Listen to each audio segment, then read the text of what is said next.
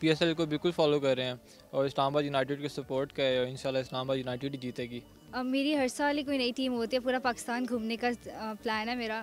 अफरीदी की वजह से बेसिकली अभी मुल्तान सुल्तान को फॉलो कर रही हूँ। अच्छी नहीं जा रही बट सेकेंड टीम मेरी लाहौर है जस्ट ड्यू टू राना साहब ही सच अ स्वीट गाय और उनकी जो एक्टिंग होती है मतलब जो उनका एक्सप्रेशन होते हैं ड्यूरिंग द प्ले बहुत अच्छा होता है, बहुत मज़ा आता है।